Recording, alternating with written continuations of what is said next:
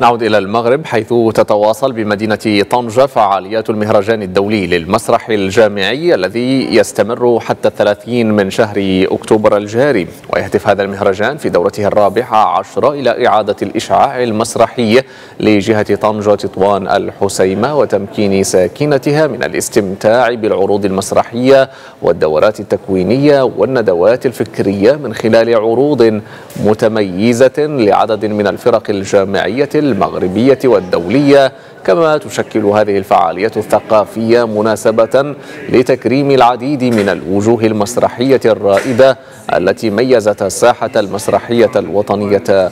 والدولية. هذا اللقاء اللي كيتعتبر واحد المناسبة اللي كيكون فيها تلاقح ديال الأفكار ما بين طلبة كيتشبعوا بالآراء وبالقناعات ديال التسامح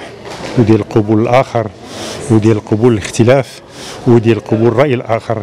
هذه مناسبة اللي كان نجتهدوا في جامعة عبد الملك السعدي باش نرسخوا هذه الأفكار عند الطلبة ديالنا باش نكونوا واحد الجيل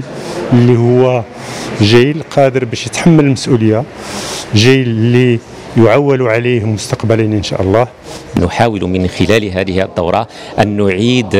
نفس جديد للمسرح داخل مدينة طنجة وأيضا داخل الفضاءات الجامعية خاصة وأن الجامعة المغربية مقبلة على إصلاحات بيداغوجية آه، ترتبط بتطبيق وأجراءات القانون الإطار رقم 1751 والذي يعطي مكانة أساسية للفنون وللمهارات الحياتية في المسارات الدراسية والبيداغوجية داخل الجامعة